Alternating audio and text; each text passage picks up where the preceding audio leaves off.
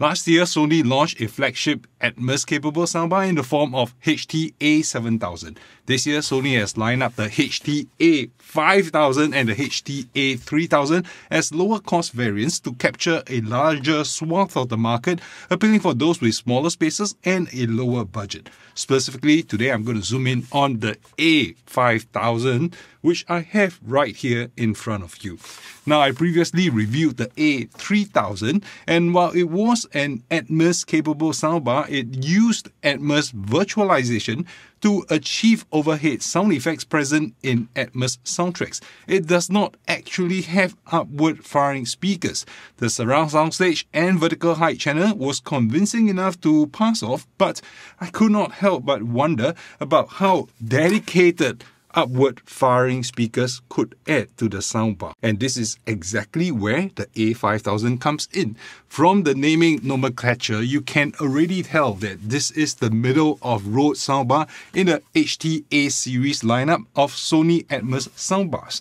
The A7000 is still a current model, and the A3000 is a watered down version. Now, just looking at the sizes of the soundbars and the inclusion of two upward firing speakers, the A5000 actually sits a lot closer to the A7000 than to the A3000. So with time, technology will always trickle down from the flagship offerings to the more budget-friendly options. This is exactly what's happening right here. The Sony A7000 was an eye-watering 1300 US dollars and for those of you in Singapore it translates to about 2500 Singapore dollars although you are able to get it for about 2200 Singapore dollars on the street the A5000 comes very close to the A7000, which I will discuss about the minor differences in just a little bit. Now, the A5000 has an SRP of 1000 US dollars, but you'll probably find it everywhere at about 800 US dollars. In Singapore, the suggested retail price is $1,800, but right now at this moment,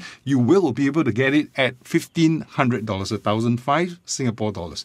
Now, in general, I don't really like to discuss prices much because discounts and retailers usually vary this to a point that it becomes inaccurate when I immortalize it in a video like this. Suffice to say that it is a huge savings of from the A7000 while coming very close in terms of feature set and performance. Now the A5000 comes powered with 9 speakers. There are two beam tweeters right here for throwing out a wide horizontal soundscape. Now this is coupled with three front firing speakers for the left, center and the right channels. Now there are also two built-in subwoofers.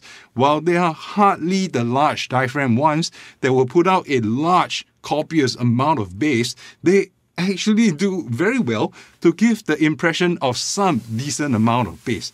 Now the key feature here is actually the last two speakers which are placed on top of the A5000 for real Atmos height effects and they are top firing speakers. Now let's compare the A5000 up and down.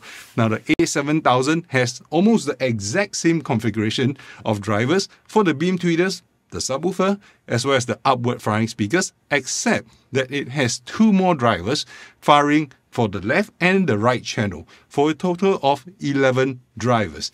Now the processing is also a little bit more advanced in that it will process 7.1.2 rather than just the 5.1.2 on the A5000. Now, when you compare downwards to the A3000, it has the additional beam tweeters as well as the upward firing speakers, which means it has four more speakers than the five speakers that is on the A3000. Now the A3000 processes only 3.1 surround sound. Now this would definitely mean that the A5000 does a much more convincing job of creating a wider and a taller soundstage. In terms of where it stands sonically, the A5000 is actually very close to the A7000 and if you ask me, missing out on the two extra front firing speakers on the 7000 is a compromise that is pretty easy to make. For the price difference, you're not going to miss the extra two speakers. The A5000 is definitely going to eat into the sales of the A7000 with it coming so close in terms of offering. The only other difference lies around the back of the soundbar. Now, the A5000 has a HDMI input port and the A7000 has two HDMI input ports. Now, this is a matter of convenience because if you are using ARC or eARC port connections to your TV, you could technically connect the devices to the TV and have them play the sound through the soundbar via the ARC or the eARC connection.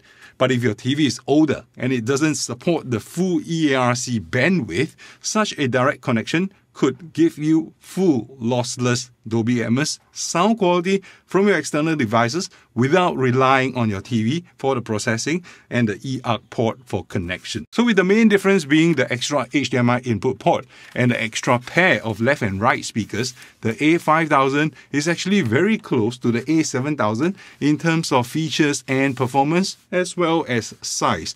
Now you can see I'm having a little bit of difficulties trying to maneuver this huge long soundbar within this small space here. The A5000 is actually 121 centimeters long, which is just about 4 feet.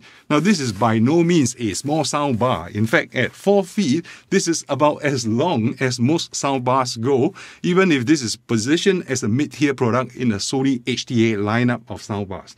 The A7000 is actually about 3 to 4 inches longer than even this soundbar, and definitely a lot taller by quite a margin. And make no mistake, the A5000 is actually a lot of soundbar for the money. Now, I started this video with a comparison simply because I think it's a middle of the road model, and I figured that maybe quite a few people are watching and wondering if they should be going for this model instead of the A7000, or you might actually be wondering how much more are you going to get it if you get the A5000 over the A3000, and is it worth your money? My simple recommendation is go for the A5000 if the couple of extra hundred bucks can be absorbed within your budget.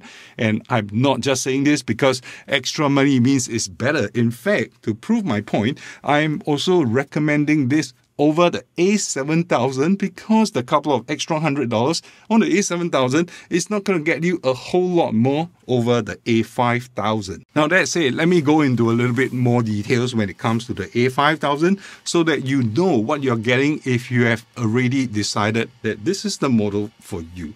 Now, on my channel, I don't like to go into every single detail that you can read for yourself. I think reading is faster than watching a video, especially long videos like mine. I like to highlight the features that matters to me and makes a difference to you because it makes a difference to me and that it will benefit you after you part with your hard-earned cash. Now, the first feature that I have to talk about is the 3D sound. This soundbar supports Atmos and DTS-X. The support for both formats is actually not common. You'll hear a lot of soundbars supporting Atmos, but not many will support DTS-X. Soundbars like the Sonos Arc will support Atmos, but only unofficially support DTS. It doesn't even support DTS-X, which is the 3D sound variant. And if you're into Blu-rays and gaming consoles, this will actually be an important feature for you. The A5000 also comes with automatic room correction, which is called sound field optimization by Sony.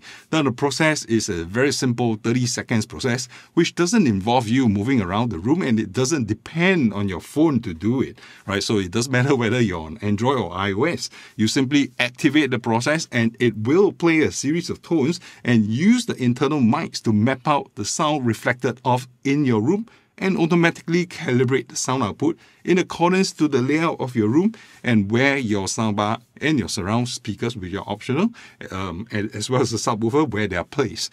Now, room correction is an important feature. Sometimes we hear a sound demo in a showroom where everything is positioned carefully and it sounds great, but when you bring home a piece of audio gear, it then starts to sound completely different. That's because sound waves are affected by your room shape and size and furnishing, as well as your speaker and soundbar placement. Now, with room correction, it starts to account for all of those uh, factors and will present itself with the best possible sound for your room. Now, two more features that are important impacts the sound, that is the vertical surround engine and the S-Force Pro front surround. Now, together, they worked to produce a soundstage that is both wide and tall. In the Sony demo, after you perform sound field optimization to correct for your room, the resulting soundstage is actually quite impressive.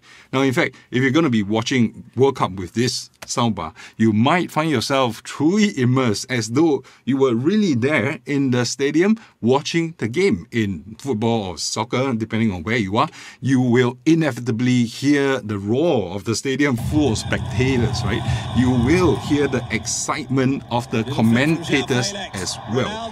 Now, when replicated poorly, the din the noise from the spectators will sound like noise trying to cover the commentary, and the commentators will sound like someone who's trying to shout into your ears and competing with the volume of the stadium roar.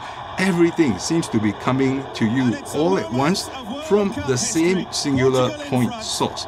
Now, and each of them will be fighting for your attention, one trying to cover the other. Now, with optional surround speakers, Sony actually executes this very well. And when executed well, the spectator roar should envelope you creating a soundstage that is wide and tall and basically surrounds you. Now, it's like when you are at a stadium watching the game live, the atmosphere is recreated for you, covering you like a warm blanket. Live commentary should stand out and it will be layered to you, creating a voice that is concise and gives you the information about the match that you need. The voice should come to you from the front, not muddled up and mixed in with the spectator roar.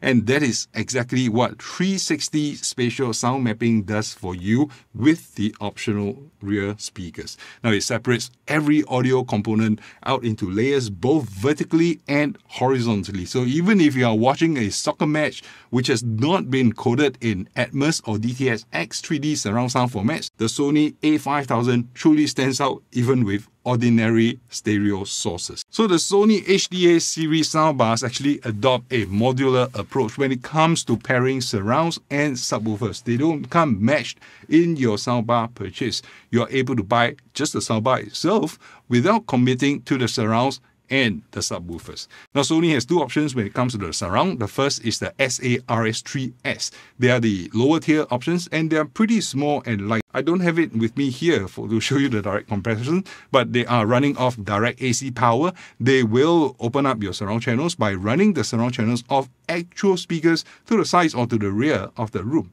Now, the other option that I have right here is the SA-RS5. Now, these are much bigger and they actually house upward firing speakers. Now imagine this, you're already getting two upward firing speakers on the A5000 soundbar itself, and now you get another two more upward firing speakers on the RS5 surround speakers. And we place them to the rear, they're going to be firing up the heights channels from the rear. So this will truly give you upward firing Atmos or DTS-X from both the front as well as the back, and you're gonna get a seriously convincing 3D soundstage. So the RS5 also comes with built-in batteries, which means to say you don't have to permanently deploy them and run the power cables. I have the RS5s here with me. They are not plugged in, right? And you can still, you see, turn them on because they can be battery powered. So all you need to do is to charge them up with the included adapter and they will last for up to 10 hours, easily three, four, five matches even. Now you can move them into place as and when you need to. Just note that you should place them in the same location and point them in the same direction as when you do your sound field optimization to correct for your room. Now, while the A5000 soundbar claims to have a subwoofer built in, I'd like to manage your expectation a little bit. They won't deliver the same kind of punch that you expect from a dedicated large size subwoofer. You simply cannot defy the laws of physics because the subwoofers are, you know, squeezed within the soundbar itself. Now, bass frequencies are long sound waves and they require a lot of power and a large area speaker cone to produce them with enough power and volume to get a good sensing of bass. But if you're not doing a direct head-to-head comparison with and without a subwoofer, you might actually be pleasantly surprised by the amount of bass that the A5000 can actually put out on its own. This is about the most amount of bass I've actually experienced from a soundbar, and I think I, I do know soundbars. And I had a brief experience with the Sennheiser Ambeo when it was launched. It really defied the logic of a soundbar, but that was such a tall soundbar. You might as well be lying bookshelf speakers on its side. Now, the A5000 really did surprise me with the amount of bass that was generated on its own within this slim chassis. Now, you might actually just get away without having to add a dedicated subwoofer to the soundbar, depending on your expectation. However, because of the modular nature of the HTA series soundbars, you are also able to choose from two subwoofers which are compatible with the A5000. Now I've previously tested the smaller A3000 soundbar with the larger SA SW5 subwoofer, but I found them to be a little bit unevenly matched. So the A5000 soundbar is a lot more powerful and the SW5, which is this large subwoofer right here, is actually a far better match. The combination presented itself very well, augmenting the bass frequency rather smoothly. Now the SW5 is oh, is large, and if space is constrained, you can opt for the smaller SW3, which is a 200 watt subwoofer and is also wireless. Now the SW3 is a ported subwoofer with the port facing forward, whereas the SW5 active downward firing speaker cones is matched with a passive radiator that is facing forward. Now, I really like this modular approach that Sony is taking, allowing you to choose the right size and capabilities according to your budget. But this will also mean that if you do decide to upgrade the soundbar in the future, you can still keep your surrounds and your subwoofers to migrate over to another soundbar, maybe the A7000. Now, in fact, Sony even takes this concept one step further.